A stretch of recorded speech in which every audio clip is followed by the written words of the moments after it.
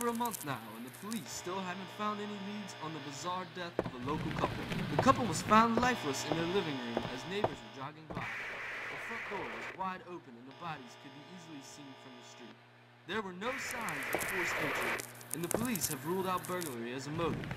Neither body had any injuries, and the cause of death could not be determined.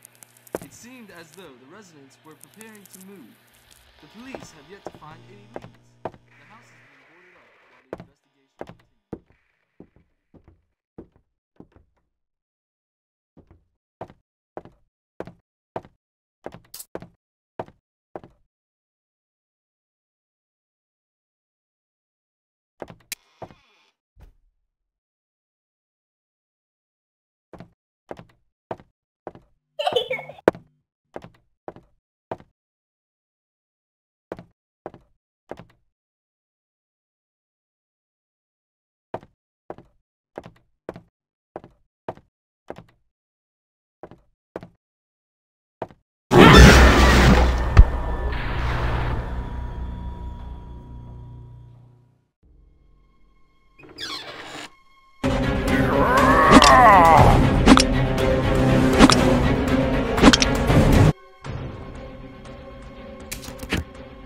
Oh.